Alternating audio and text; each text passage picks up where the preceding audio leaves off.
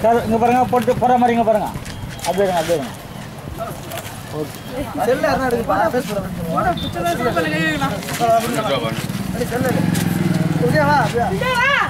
வாங்கம்மா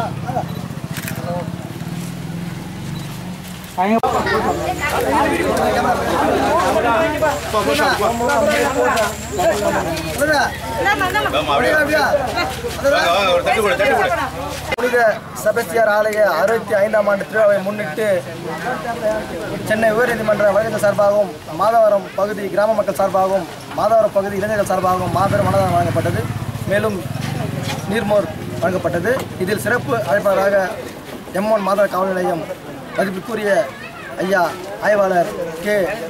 சங்கர் அவர்கள் கலந்து கொண்டார். மேலும் மாதவரம் மக்கள் அனைவரும் கலந்து கொண்டு விழாவை சிறப்பித்தார்கள்.